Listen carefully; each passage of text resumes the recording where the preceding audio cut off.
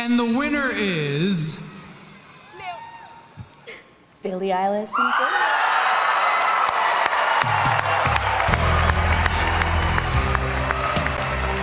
This is the first Oscar and nomination. Ed Sheeran.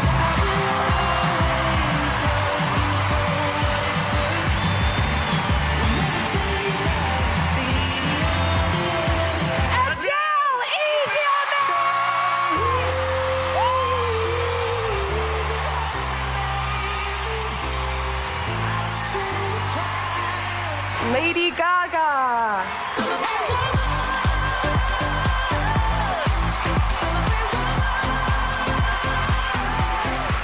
Oh my gosh. Nicki